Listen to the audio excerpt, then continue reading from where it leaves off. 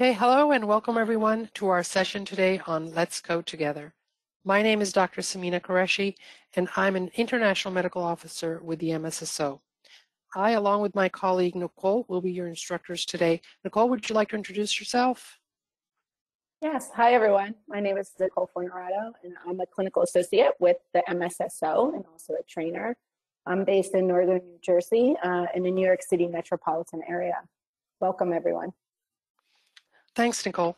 Now, in addition to Nicole, uh, we will also be joined by Liz Thomas, who you may have heard a few minutes ago. She's going to be helping facilitate today's webinar. Now, in order to be interactive with you, we will be using the PollEv software. The instructions to join, as Liz mentioned before, are in the chat section of your GoToMeeting control panel. Now, throughout the presentation, I will be prompting you uh, to join, log in, so you can participate in our various coding exercises that we have prepared for you today. Uh, one other point I'd like to make is that the question and answer portion that we're going to have throughout this session, as well as towards the end, is intended to answer questions about the principles that we discussed today. And it's not meant for general coding questions, such as challenging verbatims you may have encountered in your job. Um, so we will also be using the MedDRA web-based browser for exercises. And uh, just for today, we have provided you a training ID and password that you can use in case you've forgotten your password of your organization. Now this password and ID, I will uh, put it, share it with you on the screen in the presentation, as well you can find it in the chat section for your reference. Now, one other reminder that this particular session today is going to last 90 minutes. And in the uh, unlikelihood that we don't get through with all of the exercises, we will carry over those that remain in our next English session of Let's Code Together webinar. Okay, so with that, let's uh, move forward and start.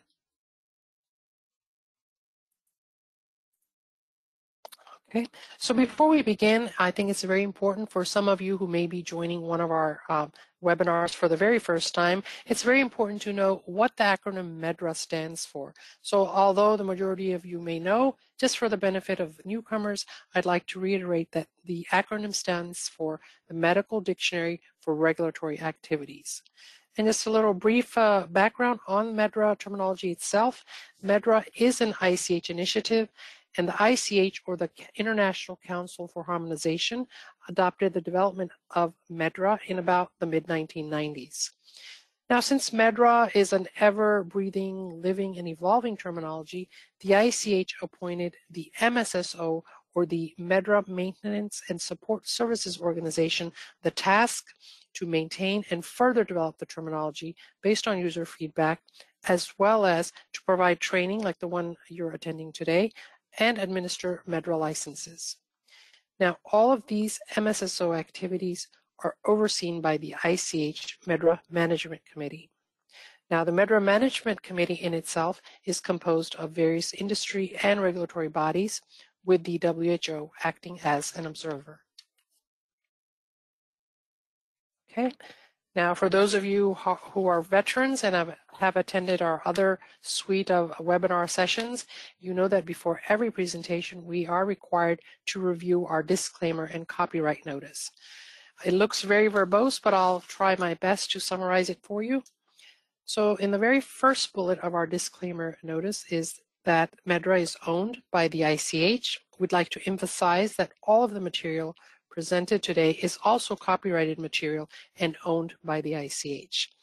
Now, one uh, good point about this is, is that aside from the logos, all of the material presented today can be used by you in your organization, but if any change or modifications are made, you must make a disclaimer and acknowledge that those changes are in no way supported by the ICH. Now, the second bullet is uh, basically legal lingo and best read as such. So the presentation is provided as is without warranty of any kind. In no event shall the ICH or the authors of the original presentation be liable for any claim, damages, or other liability arising from the use of the presentation. And thankfully, the third bullet is not relevant for us today because we're not using any third-party material in this presentation. So now with that very verbose slide out of the way, I'd just like to touch upon a few other things. Uh, we would like to let you know that the you, the participants, you can use the chat panel to ask questions throughout the presentation. And those questions that we don't get to within the session itself, we will certainly follow up with you within uh, to your email. Now again, with, uh, with an endeavor and a training of this nature, there will be times where you may not agree with the answers that we propose, but just for the uh, sake of time, in the interest of time, let's just agree to disagree because we may not all 100% agree on the solutions that we suggest to you. And again, like I said uh, at the beginning, we can't take specific verbatim strings. Uh, in the chat or the Q&A session, we want to answer questions that you may have regarding the principles that we discussed today. Now, one other thing we do uh, encourage and we welcome uh, suggestions from you for different uh, scenarios, concepts, or verbatim strings, or coding challenges that you have. You can certainly suggest those in the chat or towards the end, we will uh, dedicate some time in order to get those from you. And then we will incorporate those suggestions in an upcoming future Let's Code Together session, because after all, this is for the user's uh, benefit. Okay, so let's get started and get you familiar with the Poll Everywhere platform that we're going to be using today. Now, either you can join using an internet browser on your laptop, your uh, tablet, or even your phone. Use this URL, www.pollev.com and uh, forward slash Nicole F. After you do that, this will take you to the PollEv platform and don't you, need, you don't need to enter any username. You will be connected. Now, one other thing, please don't be shy when you pick answers, uh, you know, when you participate in PollEv, because all of these answers are anonymized. We don't know who's giving which answer. So no, no need to be shy about uh, giving your answers in PollEv. Okay, now for those of you who are using your cell phones, the one advantage is you can use your cell phone camera and use this QR code to directly take you to the PollEv uh, platform site. Okay, so I'll give everyone uh, a few seconds. Again, the directions for logging in are also available to you throughout the session for your reference in the chat section of the control panel. So let's all log into PollEv, either with your phone camera if you're using your cell phone, or here is the way to use it if you're using a browser, internet browser, on your tablet or computer. Okay, give you a few seconds to join.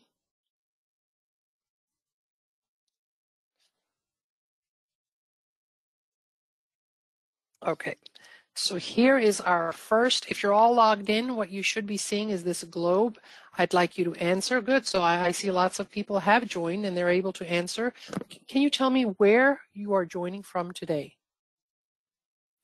Okay, so Nicole, you're going to have to help me with my geography a little bit. I do know a lot of people are showing up in the U.S. on the eastern states, some on the west, western, some in the middle.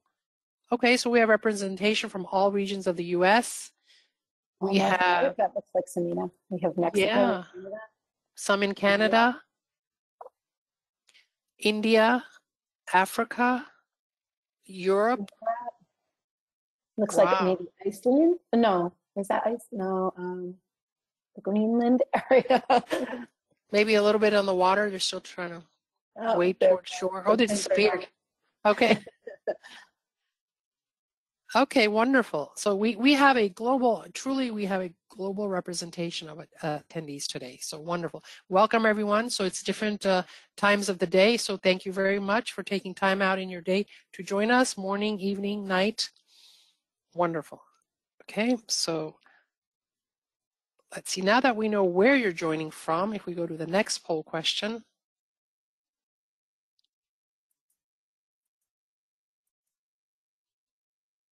Okay, so now we want to know what role do you perform within your organization?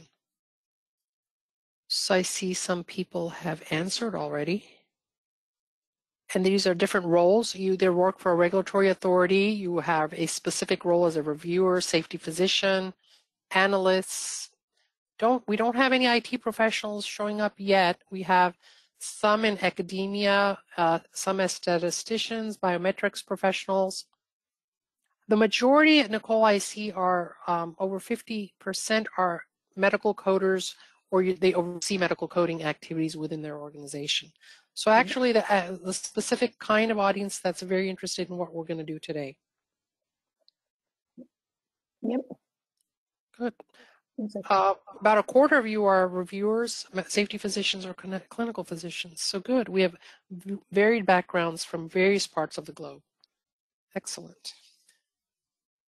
Okay, so thank you very much for your participation. Now we know you are able to log in. We know your answers are visible to us. So similarly, we're going to ask for your input and your uh, uh, coding guesses in our various exercises that we have prepared for you today. Okay, move on along. I'm going to the next slide. Here I'm telling you the options. Uh, of, again, we mentioned in the beginning, you have different options you may use if you already have your MedDRA desktop browser. You may also use the MedDRA web-based browser, and here's the URL for that. Uh, as well, you may use the mobile MedDRA browser on your phone. I will actually be demonstrating my uh, examples and my searches in the web-based browser. And again, we have a training, temporary training user ID as well as password available to you in the chat section.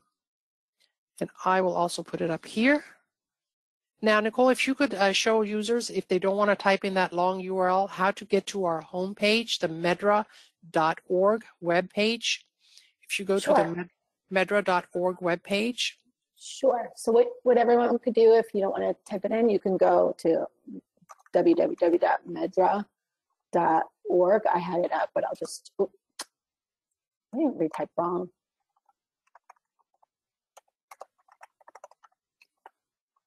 There org. Go. And mm-hmm. then what you'll do here is just click the WBB up in the top and you can, I my information's already saved because obviously I'm helping to facilitate this class and then you can pull up the browser that way and use the temporary password and username that was provided. Yeah. So once you get to that, you push the either you type in the URL or you get to it from our website, like Nicole just demonstrated. You use our username, which we are using uh, today for your benefit. Training is the username and the password as you see on the screen, 722 at P-E-R-A-M-E capital D. So we'll give you a few minutes just so you're on the ready, ready to attend and ready to log in and browse along with me. And again, okay. anytime you need, you can reference it in the chat section. Yeah. And Samina, while people are taking a second to log in here, um, since we know the poll everywhere works, we did receive a question um, from someone asking where they can access the slides. And I just thought it would be good if we address it now. So we're not, we didn't provide the slides ahead of time and we're not going to be providing the slides um, after the session. However, this session is being recorded and it will be available on our YouTube channel so you can access it anytime um, at your convenience um, and listen to pieces of it or the whole thing again, go through the examples if you want to just see one more one example again, and we'll give instructions for how to get there towards the end of the presentation. Yes, absolutely. Thank you very much, Nicole, for addressing that. We will, towards the end, show you uh, where the recorded session, today's recorded session will be available. It should be available within a few days of the conclusion of today's session. Okay, so hopefully everyone has logged in just to see that they can log in either using your organization's username and password or the one we've provided for today. Okay. Okay, let's go back. Okay, so let's sort of uh, get into the meat of the matter. Now, as you know, medical coding provides, you know, presents with several challenges. Sometimes the concept that you're looking for or the term you're looking for, an exact match isn't always available. That's where you should have in your mind sort of like a decision tree on how to approach such type of a concept. Now, we do have the points to consider document that those of you who are veteran MedDRA users are familiar with. That's a great reference to tell you how to approach various coding challenges. It gives you a preferred option as well as an alternate, uh, alternative option. Now, once, once you're presented with a coding scenario, a coding narrative, or a coding verbatim, it's very important to first think and interpret the data that's given to you. And again, an important take-home message is you should never assume anything about the information given given to you. Just code the amount of information that's given to you. Don't do additional assumptions and code something extra. At, on the same token, don't uh, neglect to capture something that is being reported. Now, oftentimes the options, there are several options that can be presented in some scenarios, and you don't know which approach to take. So the best uh, method is to represent events by the best approximation of what's being reported if there is no exact match term available to you in MedDRA. Now here's something I'd like to sort of show users. How when you look at this picture, many people with different perspectives, with different insights will interpret this picture totally different. Now I see something, but before I tell you what I see in this very colorful uh, picture, Nicole, what do you see here? So uh, I look at this and I, you know, I think I'm just bad at these. but what I see is a frog. Actually, it's like I see frog legs and and uh, some eyes, and it looks like a frog with a fish head. So Samina, I'm not sure Interesting. that's even close in, in the ballpark of what you're seeing, but I I actually see a very friendly uh, finned fish. So I don't know what pond that Nicole lives near where the frogs look like that, but I see a fish. So, so just as an example between the two of us colleagues, we see something totally different. So I see a fish, you know, a very colorful, rare, exotic, colorful fish, and Nicole sees a frog. But in actuality, if you really take a deeper look, you look at it, you analyze it very closely, it actually is an artist who's painted a person. A body is painted and folded to look like a fish. So if you look very closely at the fins, those are two feet that have been painted to look like a colorful tail, fish tail. So it, this just proves a point that depending on which angle you look at, depending on which perspective, what experience, like Nicole seen a lot of frogs looking like this, your experience, you see different things and you can interpret the data differently as well as we interpreted this picture differently. Yeah. So and just food for thought. And Samina, it's important to note, right? Neither are wrong. It's just a different way of looking at it. So absolutely. Absolutely. And that's that's why we we at the very outset said let's agree to disagree. So Nicole and I are not fighting with each other, so we're still on friendly terms. Okay. So let's go on to the next slide. Okay. Sticking for some reason. Okay. Now, again, we want to emphasize that um, you must use your medical judgment when you're approaching any type of verbatim and narrative. You have to keep a very nuanced balance between the coding rules that exist in your coding conventions and within your organization, as well as the, the need and the desire to remain consistent, as well as keeping your medical judgment in mind and making sure that the concept that's being reported is correctly and adequately uh, captured. Now, of course, since we're not all experts in every field and science is an ever evolving subject, it sometimes become very, it becomes very necessary to make use and uh, confer with medical references uh, in order to take a deeper dive and have a better understanding of the concept that's being reported.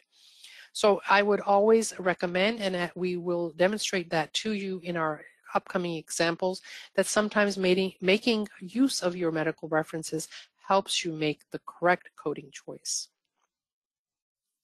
Okay, now uh, in addition, I'd also like to mention that sometimes you try your level best, but still you cannot find the concept that you're looking for uh, adequately or clearly enough in MedDRA. So in those unique situations, it may be necessary for you to request a new term addition to MedDRA.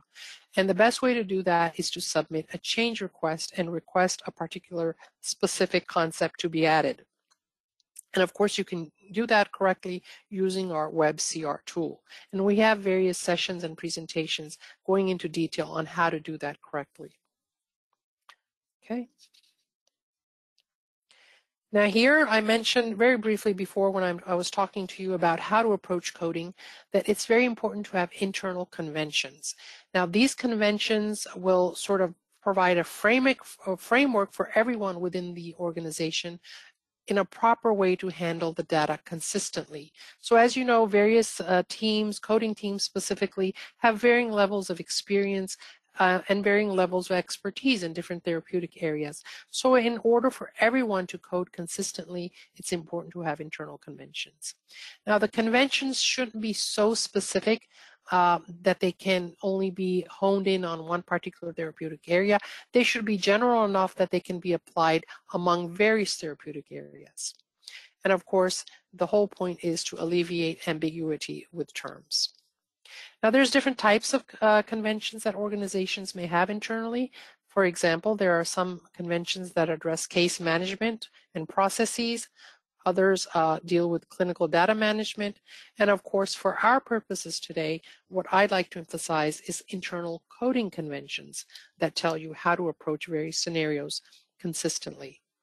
Now, one thing other, uh, one other point I'd like to make is it's important to keep your internal coding conventions updated I would recommend looking at them with every new MedDRA version release just to see if there are any new terms, uh, new concepts added in this particular new MedDRA version that may be applicable to your verbatims that you come across consistently. And perhaps a new term addresses a better solution than what you have memorialized in your conventions. Okay, so now we have touched upon that. Now I think we are ready to go into our coding. Let's code together. Okay, so let's start with our very first example. I will do the initial few examples and then I will turn it over to Nicole and she'll conclude the session with her remaining examples. So we are set with you knowing, we know everyone knows how to log into the browser and to perform these searches to provide answers. And once I give you the various prompts, you can go into PollEv and I'll prompt you and type in what you think is the correct answer. So our very first verbatim, here's a, just a brief uh, a verbatim string in the blue box. She had hard time maintaining sleep once she fell asleep, would wake up in middle of night. So I'm, I'm thinking to myself, is this verbatim clear enough to code? Sometimes you'll be presented with just two words, three words, or a sentence that doesn't really make much sense. And then in those rare occasions where you just can't make any rhyme or reason of what's given to you, you may need to query if that's an option, a possible option in your organization. Again, look hard at what is being reported, what is in your ver verbatim string or your narrative, and see what are they trying to tell me? Which anatomical part are they talking about?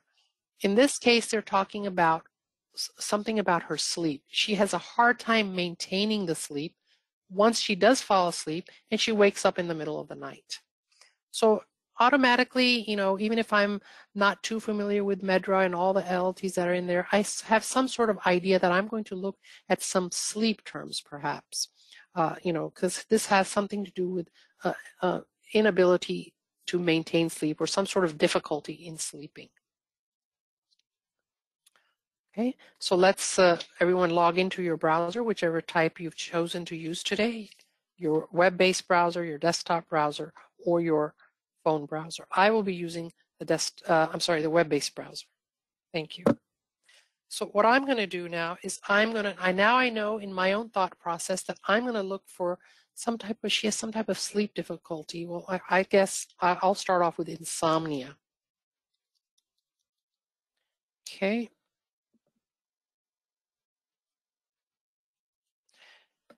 Now I'm looking at insomnia and then I see in my search that I see, okay, the exact match insomnia comes up, which goes to PT insomnia.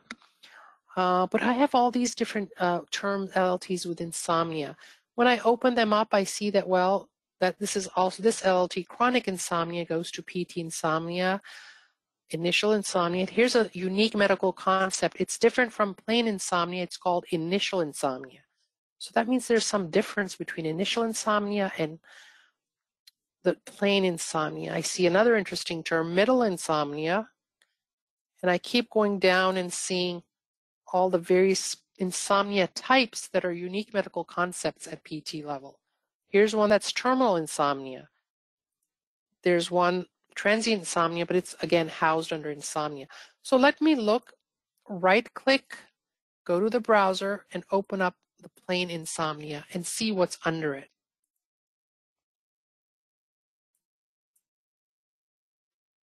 Okay, so here we have insomnia PT. Look at all these LLTs under the uni under the PT insomnia. Difficulty sleeping. So for those of you who didn't at the out, outset think of insomnia, even if you had typed in difficulty sleeping, it it would have taken you to the PT insomnia. There's insomnia disorder, insomnia exacerbated, insomnia NOS, primary insomnia. So I, I'm getting myself familiar with the various LLT under the PT insomnia. But then I'm interested to see the other types of middle insomnia. So before I do that, I'm going to go back, I'm going to minimize my browser, I'm going to go to my reference. I want to read up because I wasn't aware that there was a more, more than one type of insomnia.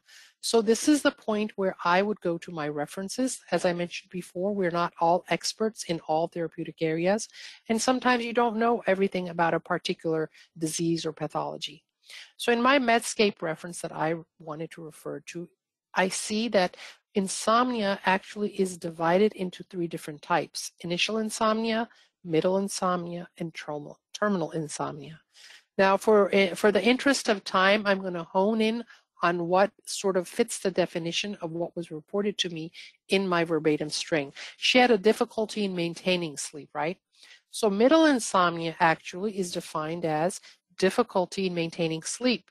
Decreased sleep efficiency is present with fragmented, unrestful sleep and frequent waking during the night. And that's what happened to the lady in our verbatim. She would wake up uh, in the middle of the night. So I'm uh, leaning towards this. So I'm going to go back to my browser and I'm going to look under middle insomnia in the browser. Okay, so here's middle, PT middle insomnia. I'm going to right click open in the browser to look at all the LLTs under it. So here's an LLT that kind of describes exactly what I, I sort of had in my verbatim. Arousal night, middle insomnia, nocturnal awakening, sleep maintenance insomnia. Remember they said she had trouble going to sleep. So I think this is sort of driving me in the right direction. Okay, so let's go to our PollEv. I'll minimize this and go to my PollEv slide. All right, for those of you with a phone camera, here's your QR code just for your reference to take you to PollEv. And let's see what the audience thinks. What should be the LLT for this particular? Okay. Samina, if it's okay, while um, people are responding to this um, poll, we did have a couple um, comments, I guess, uh, mm-hmm. uh, relating to this exercise. So some people are suggesting sleep maintenance insomnia. So I'm not sure if you want to touch upon that. Um, and then I'll get to the other ones. There was one about the poll in general and the reason why it didn't change. And that's because when we bring up a new poll, you'll get the poll on your on your phone or your desktop, whatever you're working on. Mm-hmm. So, but yeah, so, so we did get comments of sleep maintenance insomnia. Okay, so let's go to the browser and see where, where that LLT resides. Sleep maintenance insomnia. So from the choices that I gave you in the poll, you're absolutely right. If that LLT was there, sleep maintenance insomnia, we would have picked that. What we see, this LLT is under the PT middle insomnia. So from the choices that are given to you from in the answers, that's what we would say, middle insomnia. But the most accurate LT, the person is very correct, would be sleep maintenance insomnia. But they're all housed under middle insomnia PT. Very good point. Okay, excellent. This is exactly the type of uh, the, exactly the type of feedback that we want.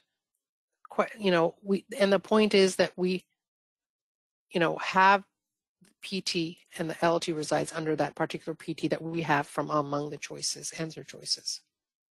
Okay. So excellent. This was this is very nicely done and good point brought up by the audience. Okay, so let's go to the next slide. Okay. So here just, this is the first exercise, so we're getting the gist of how to use our references, how to use our browser, how to look at the choices that we have to choose from, and how the most perfect LLT may reside under the PT. Okay, so again, use references for topic information. I didn't know before this, uh, checking with my reference, that there was a subclassification and subtypes of insomnia and one middle insomnia that fit exactly the verbatim. As well, I looked at the browser, took use and leveraged the search capability of it, looked at all the LLTs under a particular PT, and of course, if applicable uh, and if it's challenging, you may have internal conventions around a particular concept. In our case, this was pretty straightforward. Okay, so let's move on to the next example. Oh, just, just for everyone's record, the correct answer is LLT-PT, middle insomnia for this particular exercise. Okay, so here's something uh, sort of funny and creepy. Um, sorry, before we move on, do you mind if we, because uh, somebody's asking, you okay. know how you provided a great reference for that, like to mm-hmm. find middle insomnia. They're asking where can they go to to find to access some references. So usually, uh, in part of internal conventions, or generally speaking, some organizations actually recommend two or three uh, references, either for definitions or for you know searching various uh, pathologies, disease conditions. And we typically uh, say, you know, you can even do a simple Google search if your organization has not, you know, recommended any one in particular. You can do a Google search, look up the particular concept that you're looking for. Typically, we use Mayo Clinic, we use Medscape for uh, medical definitions. We use Dorland's, but any of these, uh, any of the ones out there may be used. And if you don't have anyone in particular, you can do a Google search and use a very well, you know, highly known medical reference and search your particular topic. So there's no limitation to which one you can use or you can't use. Okay, so the came back. Um, they, they appreciate the response because they thought maybe there were um, references built into the MedDRA browser. So that's an interesting point. Um, yeah, yeah, no, absolutely. So the fact that we use medical references, that is totally independent of the browser or the functionalities of the browser. The browser only contains all of the terms in the MedDRA dictionary the various hierarchies. Of course, in the browser, we also have medical concept descriptions available to you. And in the browser, in the web-based browser, we have various uh, functionalities. Um, um, uh, Nicole, if you can bring up the browser, please. Sure. And then while I'm doing this, uh, somebody else had a, a, question to see the MedDRA reference once more. So I believe they're referring to the browser, but if they want to comment, um, I'll certainly go back to that slide. Sure. Yeah, yeah, Okay, so the MedDRA browser itself houses uh, the various, the web-based browser houses various uh, terminal, all of the terms in MedDRA terminology. You can go to various versions if you need to go to one before the, the most current one. Currently, for our purposes, we're using 25.0 today. The MedDRA browser also allows you to quickly go to the various MedDRA concept descriptions. This is the way particular terms are used within the scope and realm of MedDRA. So they're not definitions per se, they're concept descriptions. As well, we have legends. It shows you the various uh, color coordination, you know, the various meaning of the various colors around the PT, LLT, and so forth, SOC. It's a sort of a legend to tell you what each color means. We also have a quick uh, access to the various MedDRA documentation. We talk about the PTC document. If you put uh, push that tab, it takes you to our web page and specifically it takes you to our documentation page. Uh, in addition, we have a user guide on how to use the browser itself. We have a term search history, for example, insomnia. If I want to do a search history, it'll tell me when that particular term was, let's see, insomnia, was added in the dictionary. So it tells me, see, initial insomnia was added in 2.1.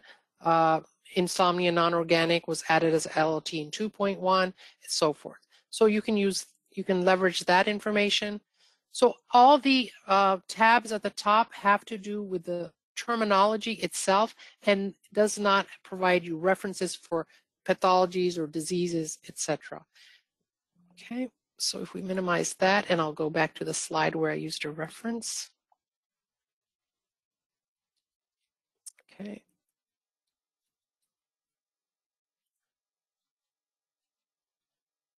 These were references that we pulled up ourselves. Because these are the standard medical references that we typically use. Of course, we're not limited to one. Uh, you can use uh, Medscape, you can use uh, UpToDate, or any of the other ones that may be uh, more favored or recommended by your organization. But there's no limitation to what reference you can use. We just use Medscape because I think it illustrated uh, insomnia very nicely and concisely for purposes of, of our presentation today. Typically, we do use uh, frequently the Dorland's Medical Dictionary for definitions for various concepts. So those are the two that I, you know, personally, not from an organizational perspective, but from my own personal perspective, I like to use. Okay.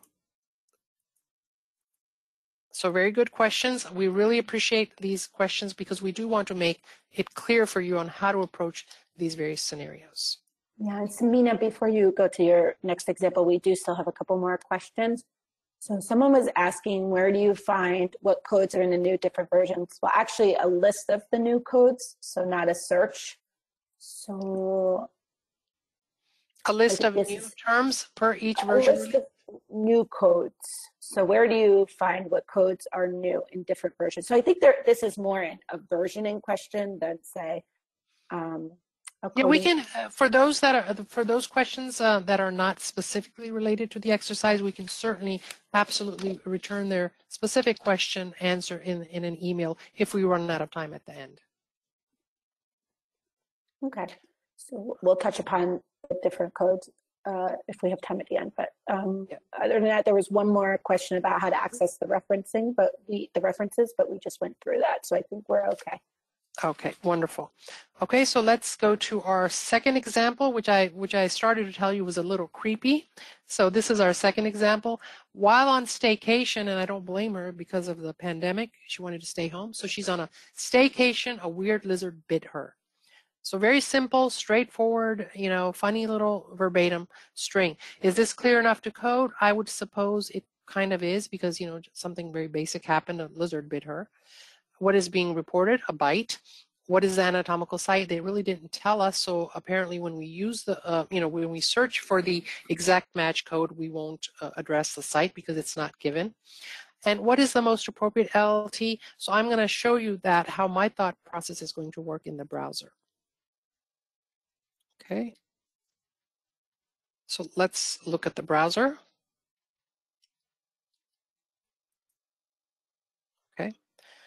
Wonderful. Okay, so what I'm going to do is, let me just start off. So I, I, mean, you know, I do know it's a bite, so let me start off with the term bite and see what I have since I'm not super familiar with all the terms about bites. Okay, so I see there's 61 matches that have the word bite in it, but one exact match of just bite. Okay, I'm going to open that up. So let me see, uh, I'm going to highlight the PT bite, right click, go to the browser to see all the LLTs housed under that PT.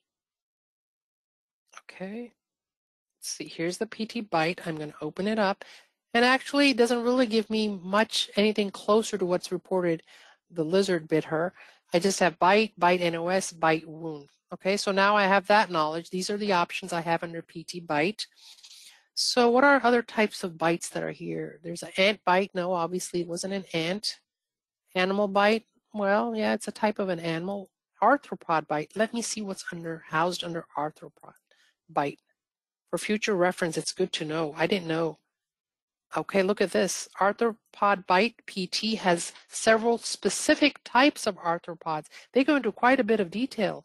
Uh, ant bite, an arthropod bite, a bedbug bite, a centipede bite, a flea bite. So should I come in the future with these types of bites, I know that we are very specific about the arthropods. So for my future knowledge, it's good to know that we have lots of details under arthropod bite.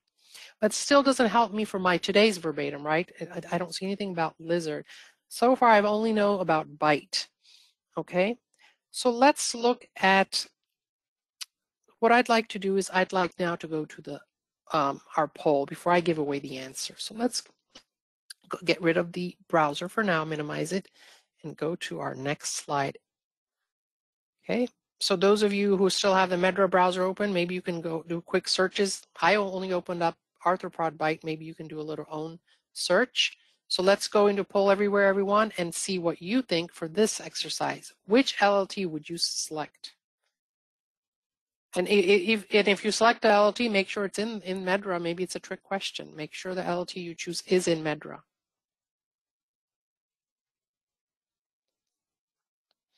Okay, so um, uh, a few of you will, would choose animal bite, correct, because it is an animal versus a bite. That's more specific. So I'm glad people didn't pick bite. They picked either animal bite or they picked lizard bite. Okay, so let's go back to our browser. And so those of you who said animal bite, let's see what's under animal bite. Animal Bite LLT goes to PT Animal Bite. I'm going to right click, go to my browser and see what kind of animals are listed. And under PT Animal Bite, I see Animal Bite NOS, Cat Bite, Dog Bite, and lo and behold, those of 92% of you actually looked and you saw that there is a specific LLT lizard bite. So you you get you get the ribbon today. You won. Lizard bite is the correct choice. Very good. So we persisted, we opened up the PT and we looked and there is an exact match LLT that serves our purpose. Very good. So lizard bite is the correct answer. 94% of you get the ribbon today and that's the correct answer. So while on staycation, she didn't have fun. Instead, she got bit by a lizard. Okay. So any questions on that one before I move on to the next one? No questions. Okay, good. All right, so here we are going to go to our third example. If, okay, there we go. So here we're, where it's a little bit more complex than a simple lizard bite. Here we have the ileoanal anastomosis was performed for his drug-resistant ulcerative colitis. Again, our decision tree or in our mind, we think, okay, what I'm given, is this clear enough to code? Well, yes, because they're describing some sort of surgical procedure, ileoanal anastomosis. This was done, and they're giving us information uh, like he had a diagnosis of drug resistance ulcerative colitis. Okay, so that's what basically is being reported. Anatomical site, well, we know it's, you know, the ileoanal uh, sections were anastomosed together. Now I have to look for the most appropriate LLT okay? And I may have to do a little research because I'm not really a surgeon, so I don't know too much about specific uh, uh, procedures or surgeries in that particular anatomical area. Okay, so again, I'm going to take use, make use of my references. And here's one another one of my fav personal favorites. The Mayo Clinic has very nice uh, descriptions. I looked up what ileoanal anastomosis is, and I see that in parentheses it's also known as J-pouch surgery. So ileoanal anastomosis, commonly called J-pouch surgery, allows you to eliminate waste normally after removal of your entire large intestine, colon and rectum. So it's basically taking the ileum and directly connecting it to the anal canal with the other in between parts of the gut removed. Now, the procedure avoids the need for a permanent opening in the abdomen for passing bowel movements, okay? And then there's the indications on why it's done. It's most often used to treat chronic ulcerative colitis, and as you know, that's what was given in our verbatim string. It's used to treat chronic ulcerative colitis and inherited conditions such as familial adenomatous polyposis, and that carries a high risk in itself, as you know, of colon and rectal cancer. So in some instances, the procedure is done when medications used to treat ulcerative colitis fail to control the condition. And that is exactly the scenario and the backdrop of what occurred in our verbatim. Okay, so now I have this added knowledge of what is a synonym of anal anastomosis, when it's done, and the most likelihood uh, of, of scenarios in the backdrop in which they do this. Okay, so let's use make use of our browser, whichever one you're using. Let's go to our my browser and I'll do the search for you, with you. Uh, first of all, the most easiest thing is let me just type in what they gave me. Perhaps I'll get lucky and it's in there, right? So I'm going to look up ileoanal in order to capture the procedure. Ileoanal. Maybe I'll have it. Maybe I'll have to use some synonym. Who knows? Okay, so I got lucky and okay, great. So there is a specific exact match LLT for what happened in my verbatim string of ileoanal anastomosis, which is housed under the broader PT concept of intestinal anastomosis. And I'm just going to, for interest, open it up in the browser to increase my familiarity with that concept. And here we see all the various LLT housed under that PT concept of intestinal anastomosis. It's also called ileoanal pouch, the LLT we're looking for, exact match ileoanal anastomosis, as well as you can see, it's interesting, they even have the LLT of the synonym of what it's known as J-pouch surgery. So I have all this knowledge now of the specific LLTs underneath this PT, but of course I have the exact match that I'm looking for, LLT ileoanal anastomosis. Okay, so let's go back to our slides. Here's your QR code. Time to join another poll PollEv quiz question. Again, don't worry, you can answer however you wish. It's anonymized. We won't know who made what choice. So among all the choices, which, which LLT or LLTs would you select?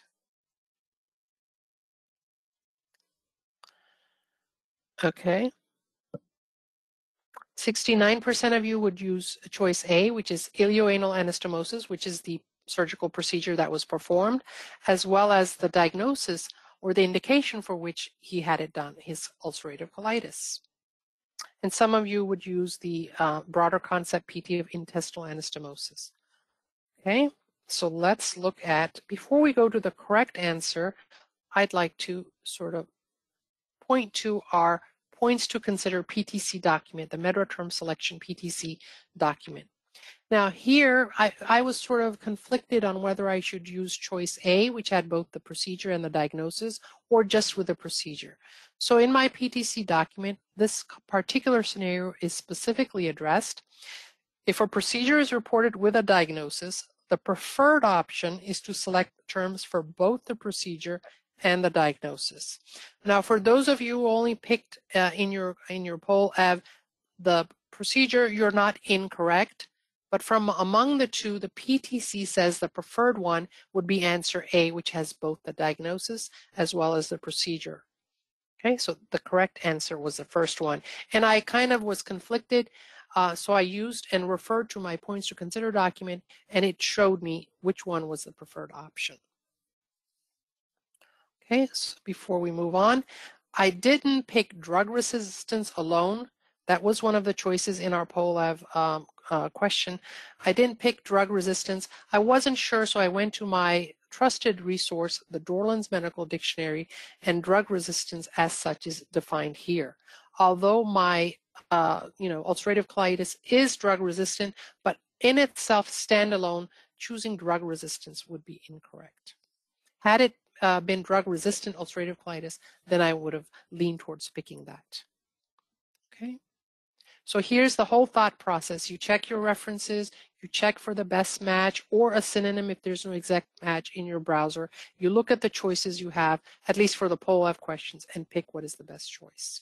And if you are in doubt, try to look in your points to consider document to see if your very that specific coding scenario has been addressed.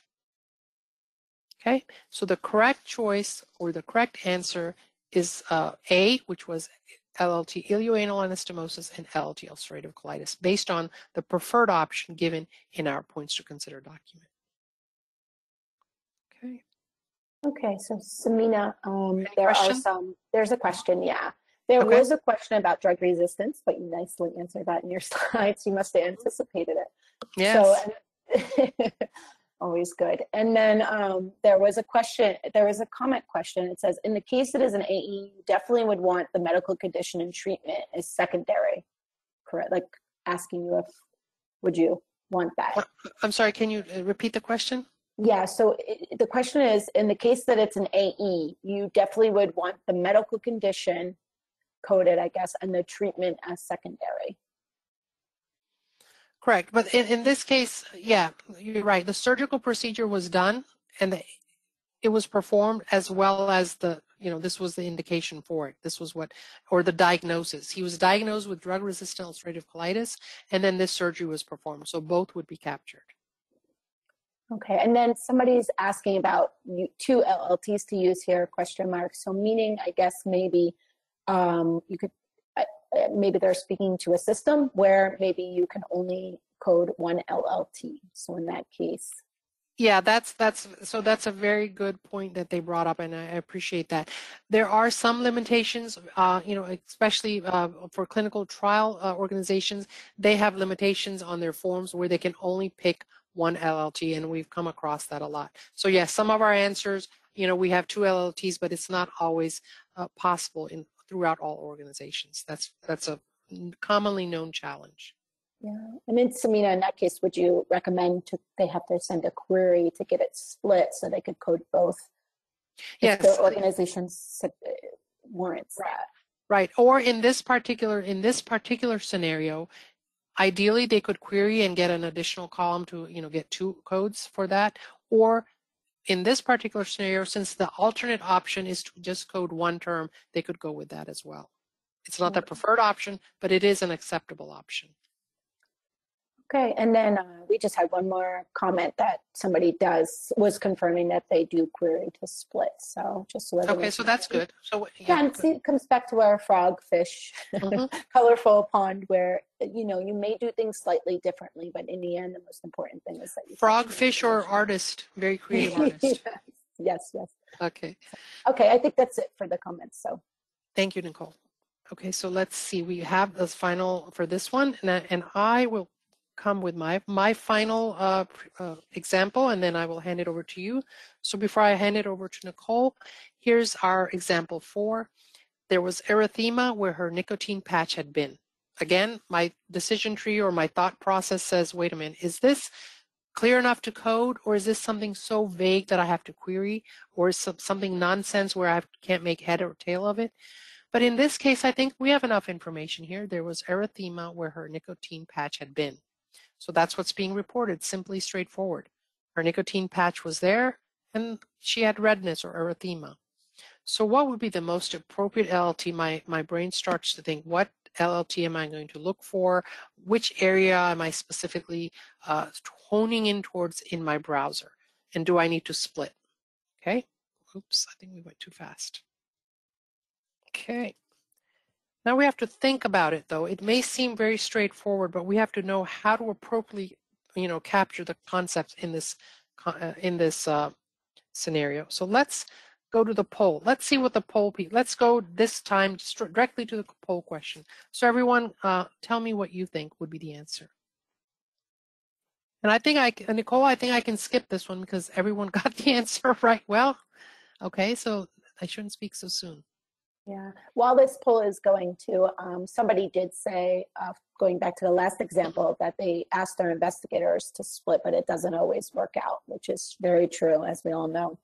Um, sometimes you query a term and it doesn't work out. So that's important to keep in mind, right, Samina? When you're Absolutely. Coding. And I really appreciate this feedback because we learn from one another. So, um, like this uh, attendee answered, it's very good. There are sometimes limitations. Other times there is the option to request, you know, a, a splitting. So, you know, various organizations handle it differently. Okay, so here I think it's safe to say that 6% say just to code erythema, and the other 94% say, 94% say application site redness. Okay, so let's go to our handy dandy reference. Okay. Okay. So I looked up transdermal medications just because I, you know, wasn't really sure, uh, you know, when when you have patches, how do I address patches? You know, because pills you take, you ingest, injections, you know, you're injected into your arm. But what about a patch? How do you translate that into a term? So when I read up the whole, you know, um, reference I saw administration, transdermal patches, administration should follow proper physical exam. I'm, I'm properly reading you should disinfect, you should apply application of patch in the desired area. So here I'm getting that the way when you talk about patches, they're applied, right? So this is giving me some hint. uh, of, of the way to refer to patches. Administration of transdermal patches depends on the drug administered by the patch.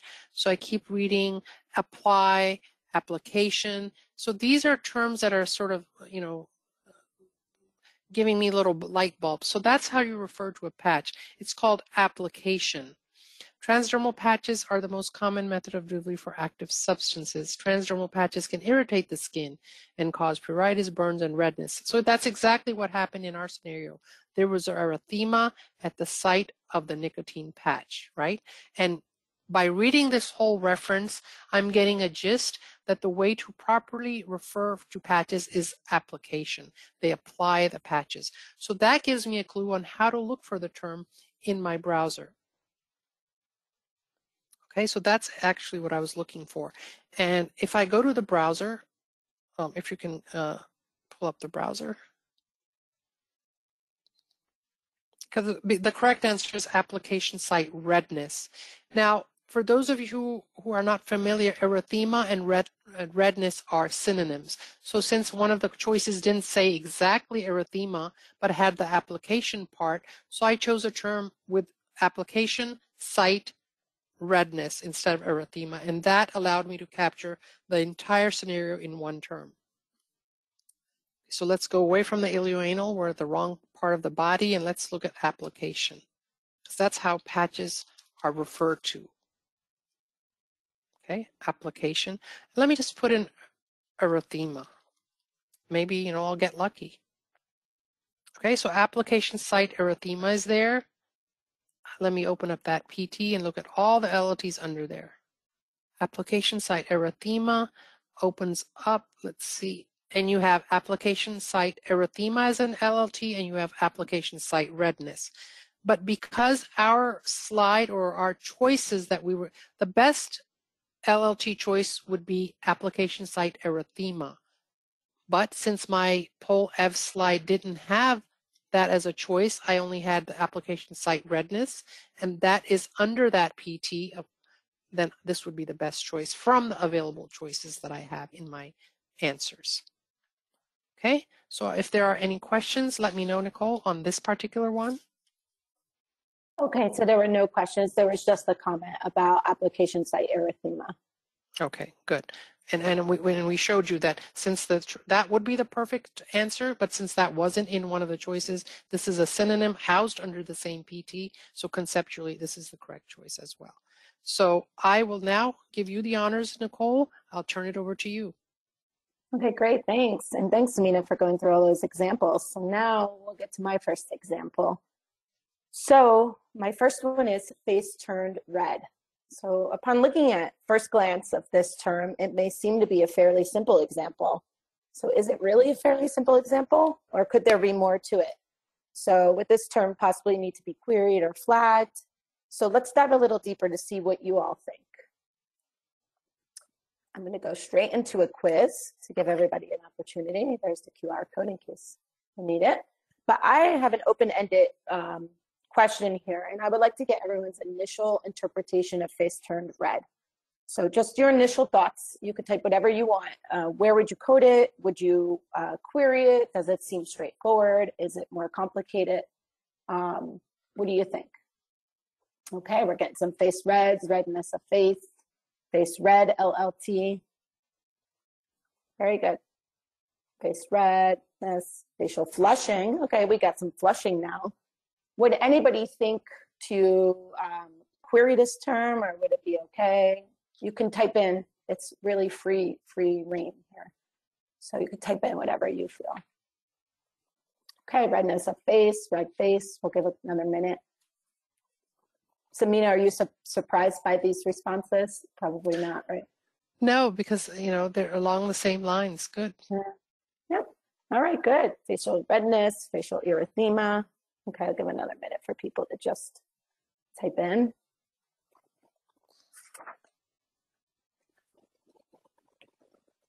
Okay, so it looks like everybody's in agreement here, or pretty much in agreement. We had the facial flushing, but let's uh, let's take a little bit of a closer look. So I'm going to just uh, move on to my next slide, and let's uh, let's browse this a little bit.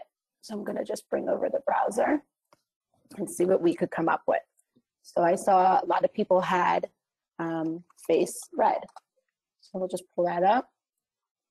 We'll go, we'll double click. And I am, just so everyone's aware, I'm using the desktop browser for this example. I know Samina was using the web-based browser. So just to give you a, a different look at um, our browsers. So this is the desktop. So it's the same type of concept. If you, you could type in partial or full words and then scroll through and see if there's anything that kind Well, of. frog, frog people like desktop, I guess. especially ones that uh you know frogs in the caribbean for me. But um so there's red face redness face facial redness of face. So we we came over here and we right clicked and we went to the, we opened up it's under erythema. So we see okay that looks like a great a great fit right? Do we need to look at anything else? I saw someone pulled up flushing. Let's let's go there and see what that entails okay so there is a flushed face so we can, again, we can expand it here and see that goes to flushing. Because you know, when you, when you do get flushed, your face does turn red, right? So it could be something to think about. So facial flushing, you know, it's, it's there under flushing. Okay, so let's keep all this in mind. So it's what everybody, everybody found um, while they were providing their answers. So I'm gonna go back to the presentation. And now I would like everyone to use, I guess here, this is a little redundant since everyone did pull up LLTs the last time. Um, but what LLT, based off of what we just saw, did it change? Would you still go to redness and face?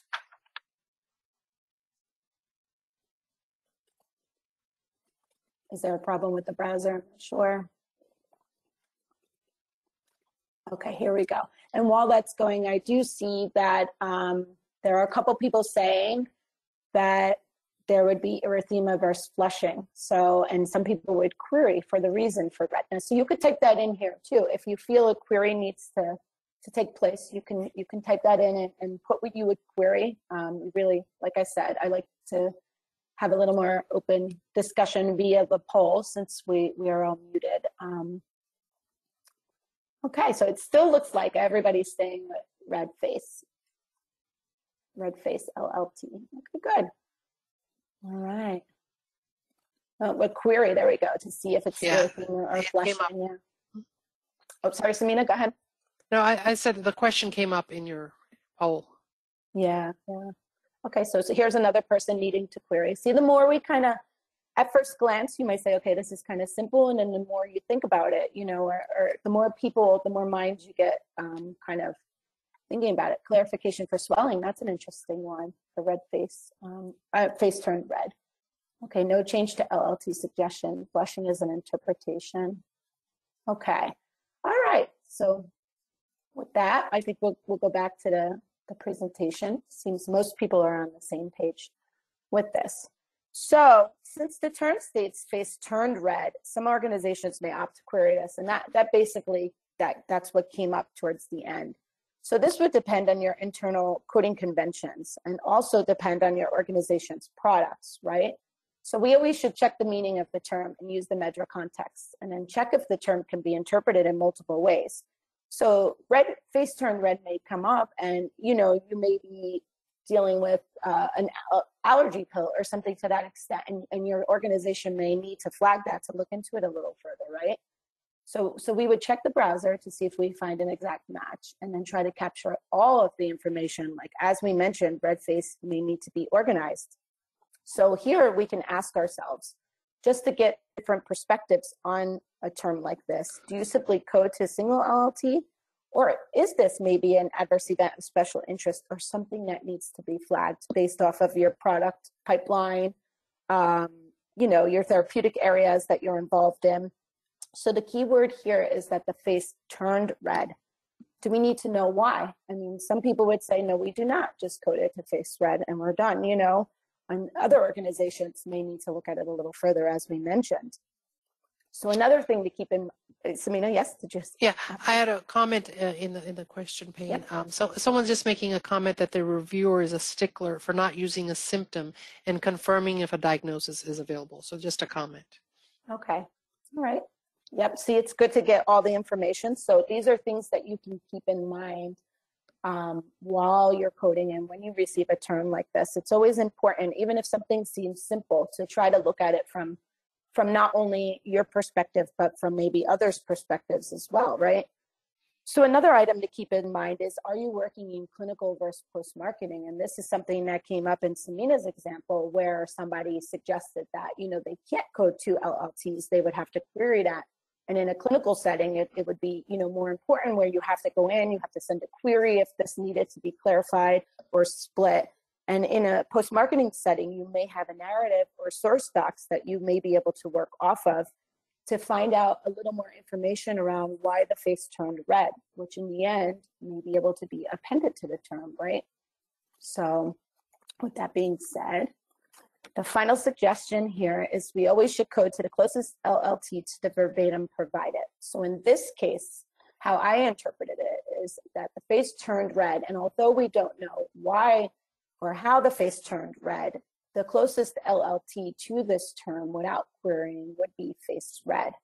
However, as I mentioned, um, some medications may cause flushing, as, as one of our participants mentioned, may cause allergy. It may be um, the, maybe the patient has a history of rosacea. Maybe the patient got sunburn, whereas you also can consider that some medications may cause a sensitivity to light which may then in turn make the patient more um, more kind of uh, conducive to getting sunburn or being out in the light may cause a sunburn more easily. So these are just things to keep in mind. So again, it's very specific to your organization. Something where, okay, we see that face turned red. We see that there's a red face. It matches. It's a great LLT to use. However, based off your internal coding conventions, your organization's pipeline, if you have any special flags set up in place, if there's anything else you need to think about, this may be something that does need to be queried to determine, you know, is it flushing? Is that something that you look at that you need to flag, you know? So just to give um, an example of how everyone may handle, you know, the term a little bit differently depending on your organization and, and the pipeline, etc. So with that being said, that's the end of the example, my first example. Samina, are there any questions or did you have anything to add to this? Uh, there are no questions for this particular exercise. Okay, great. So we'll move on to um, example two. So we'll go through this one a little quickly because I do see it's 1207. I want to get to my third example. And this one should be fairly straightforward. We'll see. Um, so the patient experienced nausea after a round of chemotherapy. So is this term uh, clear enough to code. So when receiving a term with multiple concepts included, the first thing I always try to do is determine can this term be coded or does it need to be split? So the first instinct is to browse MedDRA to see if there is a term available to capture both concepts, right? That, that would be my first instinct. Since I would say, hey, maybe this does need to be split. Do we need to capture different things? So I put the QR code up, which means we're coming to a poll. Okay, so please use your browser to provide the closest match for what you can find. Provide your thoughts. Can this be a single LLT or multiple LLTs needed? Should we query? Okay, I see everyone's finding, found nausea post chemotherapy, which Samina, that's a testament to you too for showing everyone the browser earlier, getting more in depth. If I, I gave secret slips of the answers before your exercises. So very good. This is unanimous, which I thought it would be. Um, Excellent work. So a lot of people are aware that there are, you know, combination terms of XAE post chemotherapy. So that's very good. Yes. So what I'm going to do now is I'm just going to keep this open. Very good. Uh, and pull up the browser. We're going to do a nausea chemo here. And there we see everybody is correct. We have a nausea post chemotherapy. We'll go to browser here. I did see one LLT pop up of chemotherapy induced nausea, which um, that, that's an interesting one since it's not in the browser. So I'm not sure if it's just a, um, a suggestion. But there, the one that we see here, the LLT that is available is nausea post chemotherapy, which basically encompasses both concepts. Um, of the term. So in this case, you'll see the answers are still coming good. We browsed. So what is important to remember here is that when you get a term like this, one of the first things to do is to kind of think like, do I need to split this or can I use my browser to find a term that captures all concepts? And as we know at this point, this was pretty straightforward. Um, the correct answer is nausea post chemotherapy. So it's straightforward, but the takeaway again, at first glance, you may think a term needs to be split, but once you, you look uh, upon browsing, you can find that we do have a term available to capture both concepts. So I know I went through that a little quickly, but were there any questions or comments around that one? It's fairly straightforward. So far, there are no questions about this example. Okay. All right, great. We'll move on to example three. My example three, example seven. So this example is patient had a cough and fever due to confirmed Omicron infection. So is this verbatim clear enough to code? Again, we ask ourselves these four questions are good questions to always keep in your mind. What is being, what is actually being reported? What is the most appropriate LLT and do we need to split? Those are always really good things to ask yourself upon beginning of coding anything that may be a little bit more complex or not as straightforward as say the last example. So as you can see, this term contains multiple concepts that may need to be looked at. So what do we know? Like just from looking at this term, we know that the patient had a cough, we know that the patient had a fever, and we know that the patient had has confirmed Omicron infection, which is very current, you know, especially uh, towards the end of 2021. Um, very relevant for the time. So with that being said, I'm going to do another poll. And this time I'm going to give you some choices. So what would you, on your initial um, look at this term, what would you say? Where would you say to code? Okay, so right now we're seeing very heavy on the Omicron variant infection just a little bit, a couple people on A, some people with D to capture the, the symptoms of the infection. No one chose B, poor B. Nobody chose B. Nobody chose E either, Samina. All right. So with that being said, it looks like right now 93% of you are choosing the Omicron variant infection. So it's going to be interesting to dive a little deeper into this and see what we can come up with. Okay, so let's break down these choices. So the first choice was the SARS-CoV-2 infection, so basically COVID-19 infection. So this is considered the same as, say, the Omicron infection, where the Omicron is a variant of it. So, so this choice actually is a really good one. It may be a contender, right? Because it contains partial information related to the infection, although it's not Omicron specific, right? Um, and remember, uh, we have to keep in mind also that you know Omicron is fairly new variant of of COVID. So um, you know we'll keep this one in the back of our in our back pocket, as I like to say, and see what happens as we go through the choices. So uh, the next choice that nobody, sadly, nobody chose was asymptomatic COVID-19. So that's I would agree with everyone. No one chose it for a reason, right? Because it says asymptomatic, which I think we're all aware that when you say asymptomatic, it means you had zero symptoms, which if you have a fever and a cough and it's directly related to COVID, you have symptoms. So this LLT can be ruled out. So everyone was correct in their zero um, choice of that.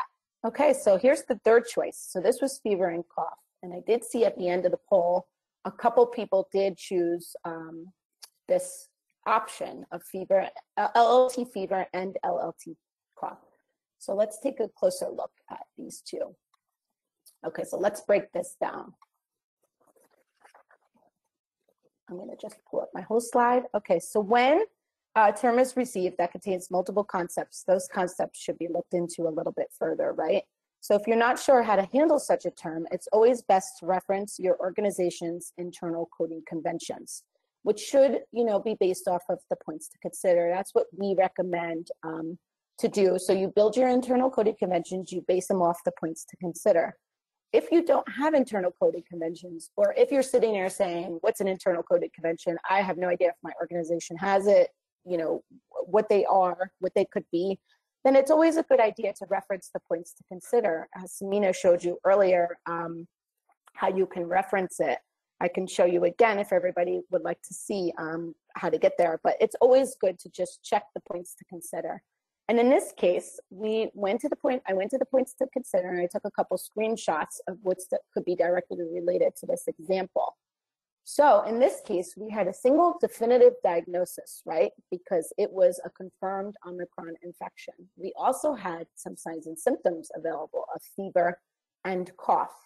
So the preferred option, according to the points to consider, would be code the Omicron infection or the COVID infection or the SARS-2 code, whatever you, whatever synonym you want to use to refer to it as. That would be our preferred option according to our points to consider. Now, it's important to note there's also an alternative available where you can code the diagnosis, so the, the Omicron infection, the COVID infection, and also the signs and symptoms. Again, this could be different for every organization. It also could differ between clinical and safety, as in clinical, as we already discussed, if you need to split this term to say break out the signs and symptoms, if that's what your organization chose to, chooses to do, you would have to send a query. Whereas in post marketing, there may be options to use a slider to kind of record the symptoms or you know you can break it out in different ways. Maybe some organizations might use parentheses attached to the term etc so this is just to show how we would handle that choice that was available. So with that being said let's break down the choices the rest of the choices. So the next one was covid-19 virus test positive. So again uh, nobody chose this one. Got a zero in our poll and that's a, a good a good thing because as we're all aware and everybody interpreted it the same that it was not focusing on the virus test positive. It did cover the while this con- covers the confirmed part the, the term itself didn't specifically mention a positive test. It was more conveying the fever and cough related to the omicron infection. So that was a good thing that that no one chose that one. And now here's our last example which was the runaway winner in the poll so this is the SARS-CoV-2 Omicron variant infection. So this term seems to be the perfect choice. It encompasses the Omicron infection. According to the PTC, that would be okay to code the single diagnosis if that's how your organization chooses to do it. So with that said, let's examine this a little further.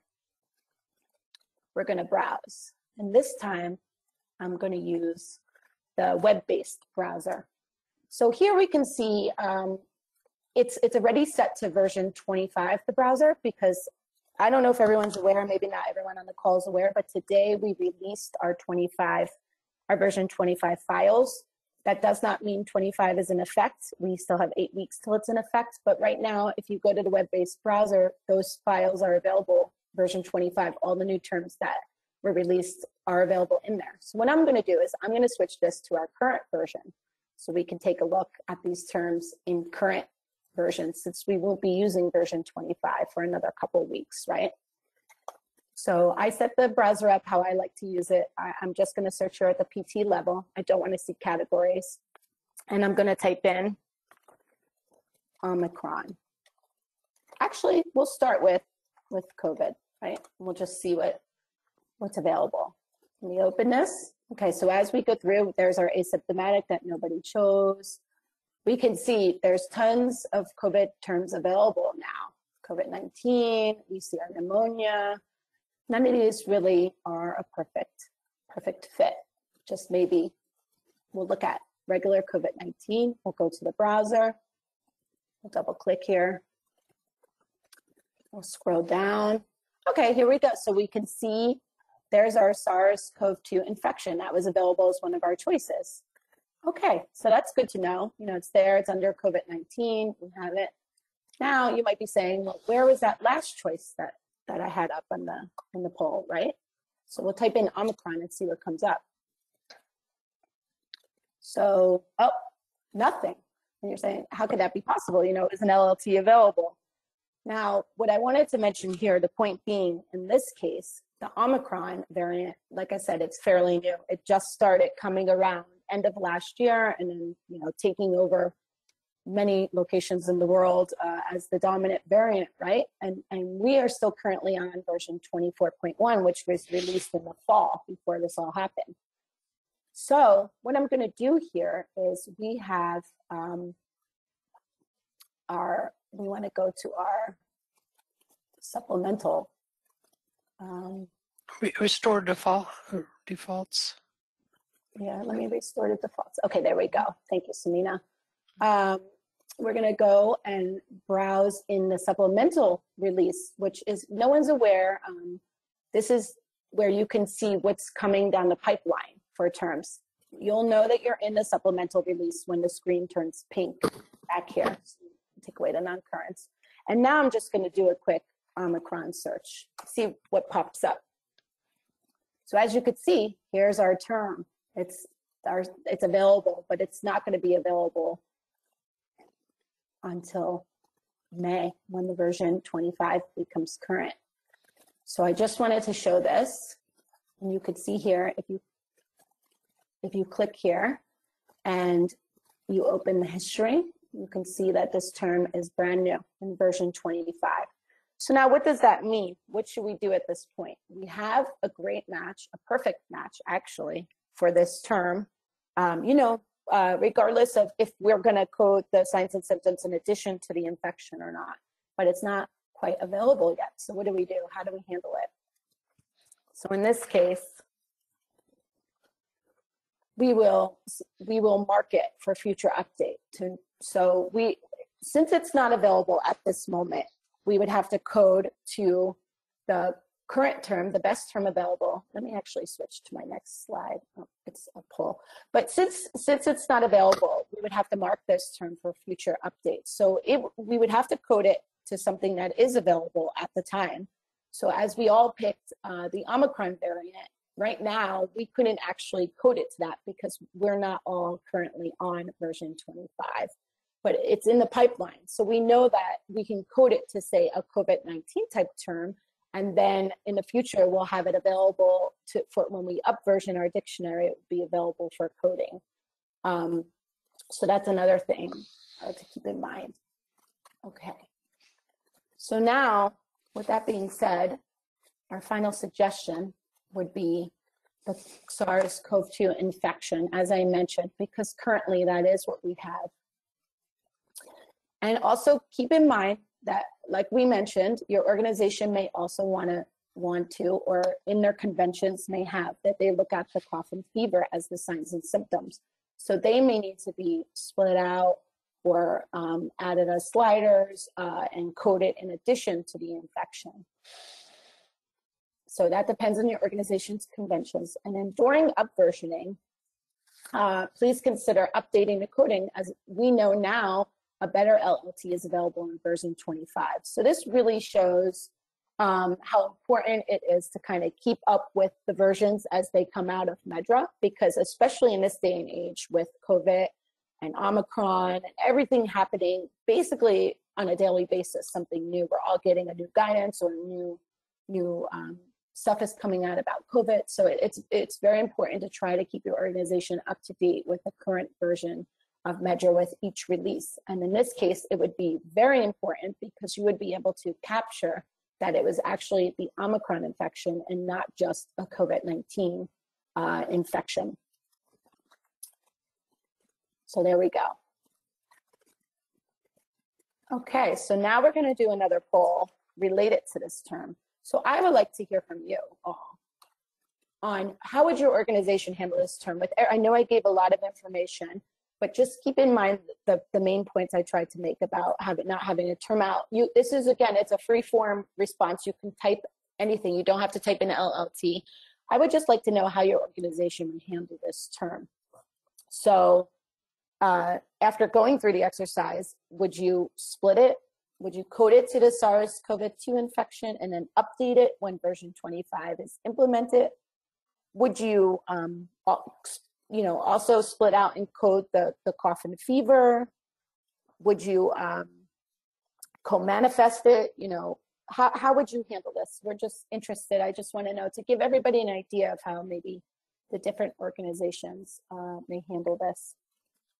And if you don't know how your organization would handle it, that's fine as well. You can just state that, and maybe it's something you can take take as a learning um, point from this presentation, and and uh, you know go back to your people within your organization and see if you could come up with a convention or see if there is already one in place on how you would kind of handle this. So we're seeing, Samina, lots of different options, right?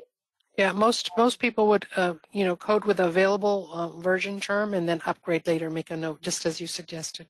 Yeah. Okay. Okay, good. So it's good to know that a lot of people are up versioning and would go through and uh, and do that upon when it when the new version is released. Let's see if there's anything else. Okay. There's no questions so far about this. Okay, good. All right. Maybe it's also because I'm using a free form. People maybe can, Mhm. can or maybe, hopefully not everyone's confused and uh, what is she talking about? but I think this was a good a good example to show. Um, you know, at first at first jump when we did the first poll, right? Thinking back, everybody was coding to the Omicron, right? And it's that's why it's so important to kind of use your browser, make sure you're using the current version of the browser, and then go through and see what's available. And if it's not available, you can check the supplemental portion of the browser and kind of see what's going to come in the pipeline. So, all right. Well, thank you all. Samina, did you have anything to add? No, I think this was a very good demonstration of, of possible supplemental terms and a good point of how to use a, term that you know that is coming up that you need uh, with what's available. So I think that's the take-home message. Yeah, thank you. So I know we're, we're a little, you know, um, we go through it a little fast, but you know, you can always feel free to ask questions. We'll get back to you afterwards. And I do see it's 1226, so I don't want to keep everyone past. Uh, I know how busy everyone is. So what we're going to do is we're going to save my next example for the next time we teach. And uh, we're going to go straight into the, the so that we have a chance, because we do want to give you all a chance um, to give us some suggestions, comments. You can give us here now is your chance. Um, Samina, if you want to add anything, they can give us uh, terms that you would like us to look at, topics. If you want to see um, a re- uh, coding examples around a certain topic, if you think we need to go a little bit uh, more in depth on certain topics, just if you could provide any feedback would be greatly appreciated that you can provide here, and we'll take that and we will use it for our next session. Yeah, I, Um, I see uh, in the question panel a suggestion for a potential, uh, you know, example, verbatim example for our next session. We certainly will take that into account. And then Great. uh, for free form, as Nicole mentioned, you you know, feel free if you have prepared short verbatim or a concept you'd like uh, described more in future sessions, please go ahead and enter that now. Uh, I'm not sure. Is hopefully it's working because oh maybe not. Okay, there we go. Okay, so we want more vague terms. Okay, exaggerations. The new go through the new PTC concepts. Yeah, I would like to mention here that we have um, a webinar as well as a workshop solely dedicated to medication errors. So do look on our training page if you're specifically interested in medication error type terminology and approaches. We, we have something dedicated solely to that. So do check our training page for the next available webinar around that topic. Okay, so uh, lots of people are, are very interested in medication errors. So that's a that's always you know um, I didn't mention, but I've just came out of industry. I was in coding most of my career in industry, so working in pharma and biotech, and that was always such a hot topic. Um, so Yeah, we have a wonderful job that uh, some of my colleagues, as well as, um, you know, I also do that session. Uh, we give you uh, organization charts, a decision tree of how to, uh, you know, define medication error and what the various challenges are. So I would definitely recommend you to check that out on, on the next available session that's being provided. Okay. Yeah, I'm seeing we're getting some good examples. So I'm actually gonna, um, I want to leave this open and uh, we'll go through. Uh, we'll let this stay for like another minute and then we'll close it out because I, I want to make sure we get everybody's feedback and everybody's um, suggestions for terms that we, Samina and I will, will, will try to incorporate. Obviously, we're not going to be able to incorporate them all in the next, but we have a couple future trainings coming. So we'll make sure that we, um, we try to do as many as we can. Um, Certainly, and that's that's the whole point of these let's get uh, Yeah. code together sessions. We definitely want to take those things that are most challenging for you, topics of concern, uh, challenging areas, and we definitely will present on those topics that suggested by you. Yes. And since we can't be in person, because if we were in person, we can all have discussions on this and, and be able to talk to each other and go through it. But since we can't, we're hoping that you enjoyed our polls and, um, you know, trying to keep it interactive for you for you all today. Um, okay, so we're getting some good ones here, Samina. to keep Yes. in mind. Very Our big work is- ones. Cut out for us. Uh, it certainly is, and uh, you know, we'll have to we'll have to do some research probably to come up with even ways to to search these and to see if we can even come up with an answer for some of these. All Oh, right, so and, we're getting some positive feedback that just absolutely makes our day. Thank you so much for the positive feedback as well. Really we appreciate it. We do appreciate it because uh, we want to make sure that we're doing the best we can for you guys. Uh, that that's our whole point of being here today, not to hear ourselves talk. we want to make sure that we're giving you information you can take back to your organization and share with your colleagues, and maybe you know just you know continue the the conversation as we say afterwards. All right, so right now it's 12:30. I don't want to keep. I just thank you all for the feedback. Like I said, we'll, we have this saved. We will um, go through. There is certification. Liz mentioned it at the beginning. It will be pro- provided within a couple days of this class terminating. I do want to be able to show you these these um, uh, slides. It's all our all helpful information for the browsers we went through today for our frequently. If you want to have some frequently asked questions, if you need help, you can email the MSSO help desk, our website. Then we have our training schedule. As Samina mentioned, she does do uh, medication errors part one and part two. Part two is a workshop. And there are several other trainers that also work on medication errors uh, workshops available. We have more Let's Code Together classes. We have many, many classes. So you can look and sign up and, you know, interact with us uh, virtually as we are for now and hopefully soon enough face to face. We have supporting documentation. And then most important on the bottom, we have our YouTube channel where this presentation that you saw today will be recorded and, and it will be stored on this uh, YouTube channel. And you'll be able to go back and listen to it, either pieces of it, you could fast forward if you want to, and, and, and just in, uh, go back and re-reference the examples and the information we gave you today. We're not providing slides because as you saw, our slides were very vague and obscure. We had mainly polls and just a couple pieces of information we touched upon. So the best thing to do is to go to the YouTube channel and listen back or give the link to your colleagues if you think they would benefit from this. Um, we'll have Liz or someone send out these last two slides with the with the websites on them uh, at the conclusion of this presentation. Um, and we just want to thank you very much because we know how busy everyone is for taking the time out of your day to join us. And uh, Samina, I don't know if you want to give a big thank you before we go sign off. Absolutely. Just uh, for some people, you just go on our website, uh, www.meddra.org, go to contact, and that's where you'll see the little YouTube channel uh, sign where you can quickly link for uh, accessing this presentation. So from all of us here at the MSSO, thank you very much for joining, and until next time, we'll see you later. Thank you.